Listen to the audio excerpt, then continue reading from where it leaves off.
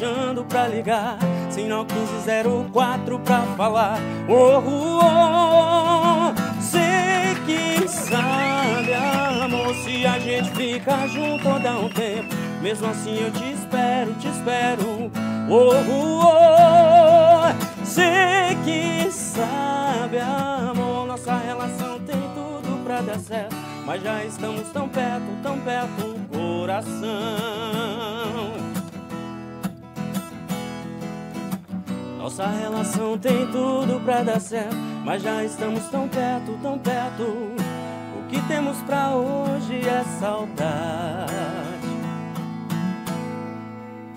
Aê, Henrique Menezes! Olá. Muito prazer, seja muito bem-vindo ao nosso Muito programa. Tá vendo só sextou por aqui, né? Sextou, sextou, verdade. Já começamos cantando, vocês aí de casa já perceberam, né?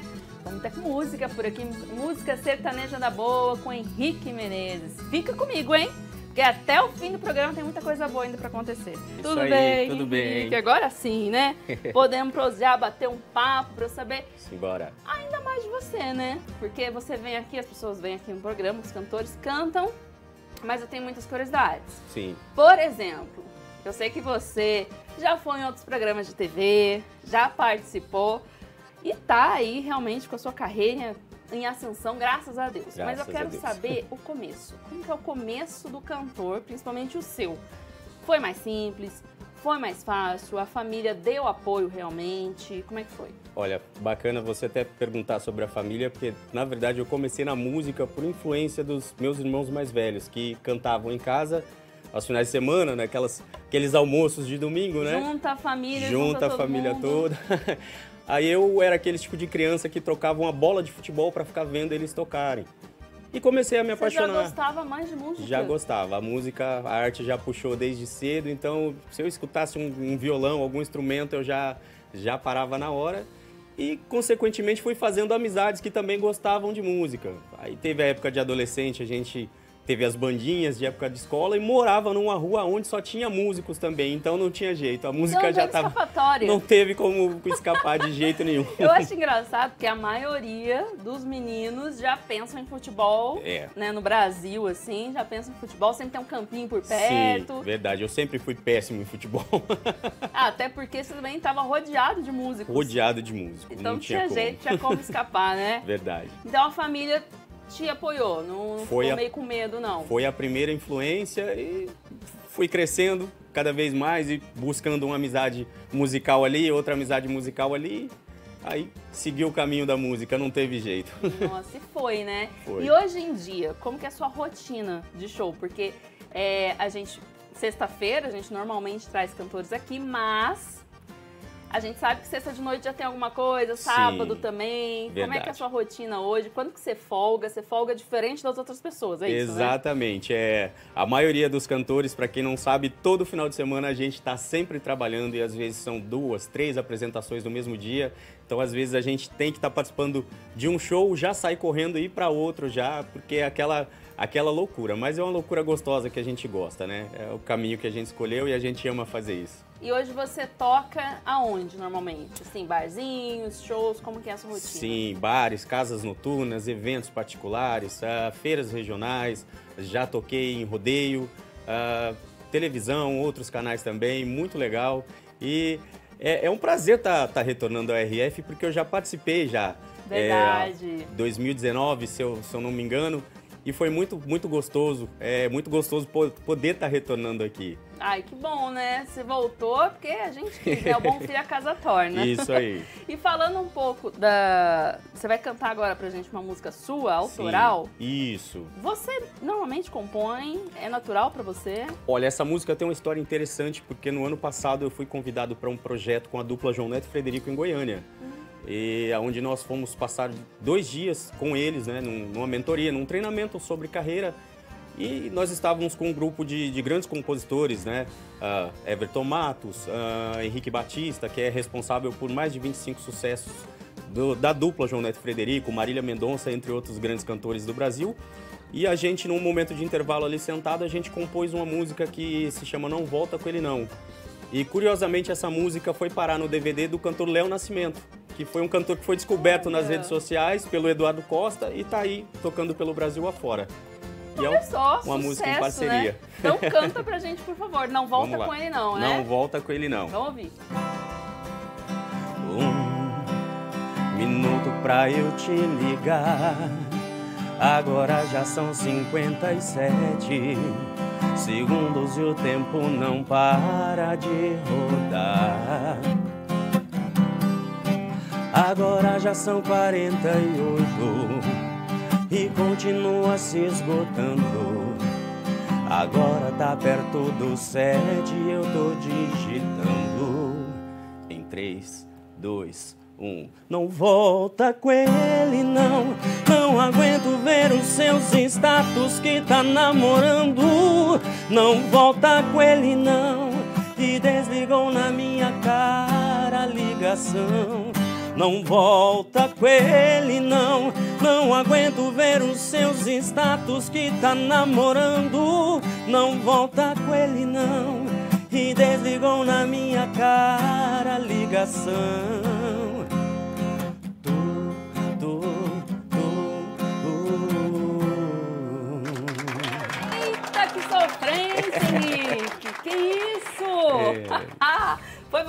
Escreveu mesmo? Nós escrevemos em conjunto. juntos? Tudo, todo mundo junto e a música tá estourada no Nordeste aí do Brasil com o Léo Nascimento.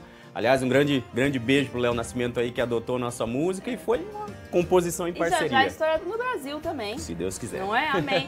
Mas nessa composição aí tinha gente sofrendo, hein? Tinha, tinha. Essa é a essência do sertanejo, né? É. É, o sofrimento, é o que A nutre a, gente. pessoa vai até se identificando, vai Verdade. se jogando nas músicas, não é Verdade. não?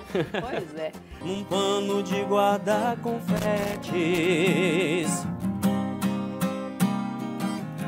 Eu vou te jogar num pano de guardar confetes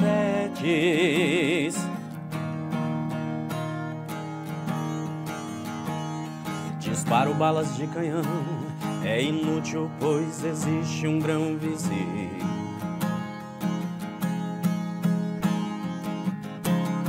Há tantas violetas velhas sem um colibri. Queria usar, quem sabe, uma camisa de força ou de Vênus.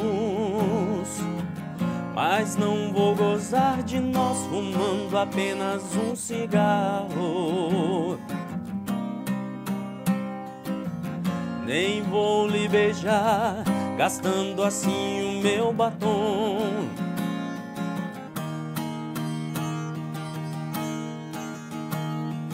Agora pego um caminhão, é inútil, vou a lona outra vez.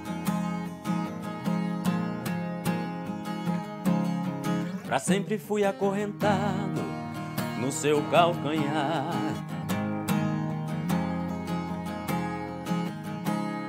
Meus 20 anos de boy is over, baby. Freud explica. Mas não vou gozar de nós fumando apenas um cigarro. Nem vou lhe beijar, gastando assim o meu batom.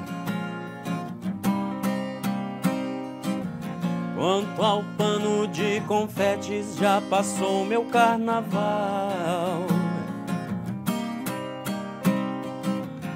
Isso explica porque o sexo é assim tão popular. No mais, estou indo embora. No mais, estou indo embora, baby, baby. No mais, estou indo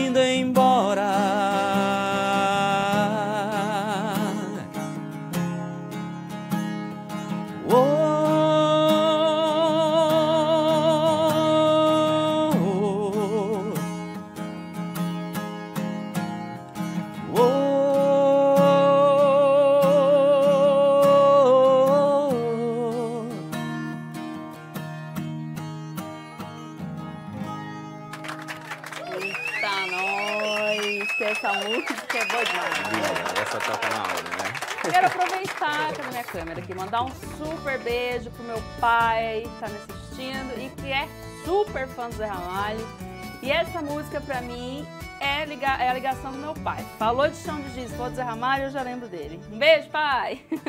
Bom, e eu falei que eu ia dar um spoiler sobre suas referências, porque você cantou duas músicas Sim. do Zé, né? Sim. Você realmente acompanha, assiste, é, gosta ou vai a algum show, quando tem, né? Porque agora ele faz menos. É verdade. Eu acompanho bastante e é um artista assim que tem uma linguagem poética brasileira assim muito nossa, né? Tem, tem artistas no, no, nosso cenário nacional que cantam coisas que só realmente a gente que é do, do, do Brasil consegue entender a poesia que ele está tentando imprimir. É. Né? Na, na, nas canções, nas composições e na obra dele por completo, né? E o Zé é esse cara, né? O Zé Nossa. é uma dessas pessoas assim. Tem que estudar a letra dele. Exatamente, né? atemporais, né? É, pra sempre. Quero agradecer também a sua participação aqui comigo, Henrique. Muito obrigada. Muito obrigado. Talentoso, né? Emprestou o talento dele aqui pro nosso programa. Muito sucesso para você nos próximos projetos, na sua caminhada, viu? Obrigadão. Muito obrigado, obrigado a toda a equipe, a todo o pessoal da RF, obrigado, já é mais uma vez pelo convite, é um prazer muito grande estar retornando aqui e sempre que surgir o convite, eu venho com todo carinho, todo amor do mundo. Pode deixar, coloca também o Instagram dele aí, por favor, que é arroba Henrique com dois Qs, Exatamente. não é? Henrique com dois Qs, Menezes, tudo Isso. junto. Isso, tudo É juntinho. isso aí. Tá aí pra gente pra colocar? Aí, boa! Bom, então eu vou pedir pra você cantar pra gente, pode ser? Simbora. Obrigada, viu? Um beijo pra vocês aí de casa, um bom fim de semana e até segunda. Tchau! Sabe quanto tempo não te vejo? Cada vez você mais longe. Mas eu gosto de você. Sabe, eu pensei que fosse fácil esquecer seu jeito frágil de se dar sem receber. Só você